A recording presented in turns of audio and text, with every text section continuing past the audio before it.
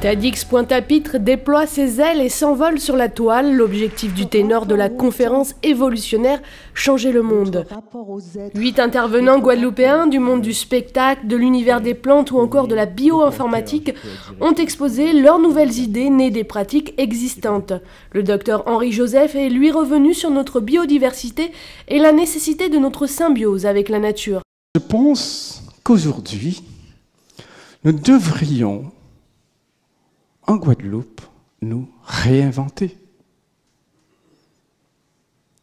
On doit aller de plus en plus vers ce que j'appelle la créativité inventive et la créativité productive. C'est-à-dire aller chercher au plus profond de nous-mêmes ce que nous avons de spécifique et d'original. Et on va trouver ça où? Dans notre biodiversité, dans notre jardin créole. Autre intervenante, la chorégraphe Lena Blue a mis en scène le mot Bigidi. Bigidi n'est pas tombé.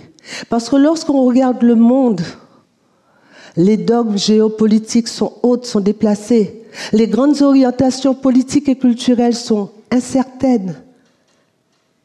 Et surtout, ce qui me fascine, c'est que la nature, l'imprévisibilité de la nature des grands territoires, vous ne trouvez pas que ça ressemble de plus en plus à nos cyclones, leurs tempêtes là-bas, là?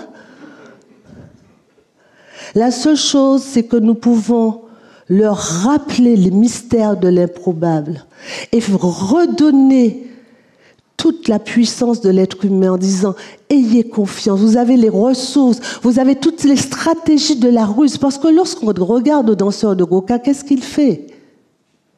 Il esquive. Quand il s'arrête, c'est comme la vie. On attend que le cyclone passe. Quand c'est possible, on accélère. Et si on est en déséquilibre, l'important, c'est pas grave, même si on avance de manière bancale, on avance quand même. Redonner confiance en l'homme et en l'humanité, c'est le plus grand souhait de TEDx. Changer le monde en partageant des idées aux horizons si loin, si proches.